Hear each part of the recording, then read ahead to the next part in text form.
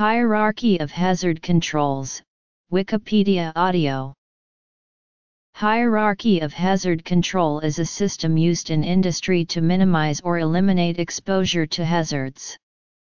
It is a widely accepted system promoted by numerous safety organizations.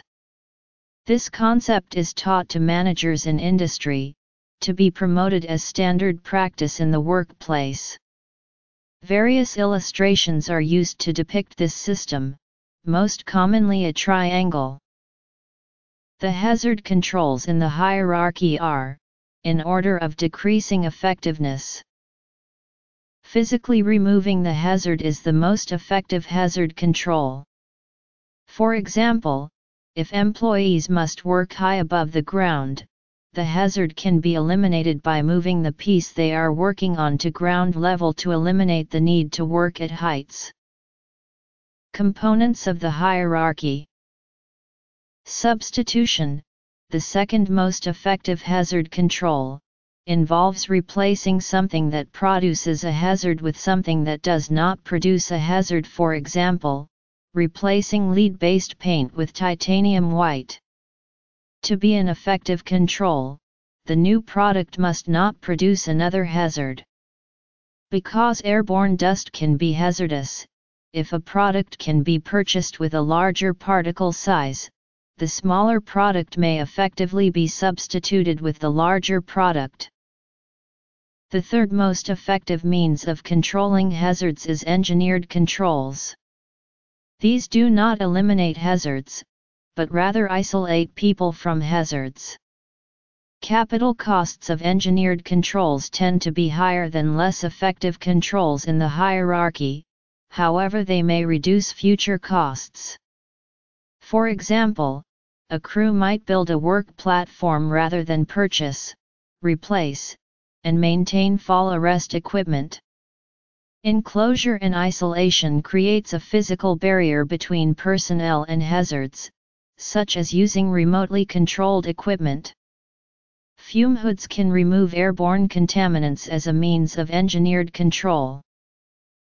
Elimination, substitution, engineering controls, Administrative controls, personal protective equipment. Administrative controls are changes to the way people work. Examples of administrative controls include procedure changes, employee training, and installation of signs and warning labels. Administrative controls do not remove hazards, but limit or prevent people's exposure to the hazards, such as completing road construction at night when fewer people are driving.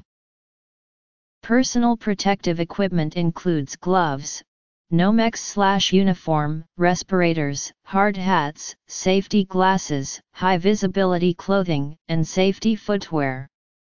PPE is the least effective means of controlling hazards because of the high potential for damage to render PPE ineffective. Additionally, some PPE, such as respirators, increase physiological effort to complete a task and, therefore, may require medical examinations to ensure workers can use the PPE without risking their health.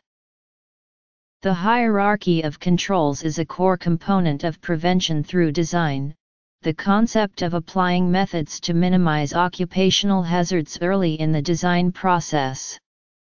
Prevention through design emphasizes addressing hazards at the top of the hierarchy of controls at the earliest stages of project development. This article incorporates public domain material from websites or documents of the National Institute for Occupational Safety and Health.